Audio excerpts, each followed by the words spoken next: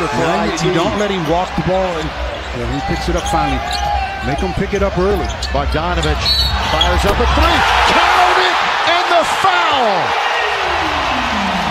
How about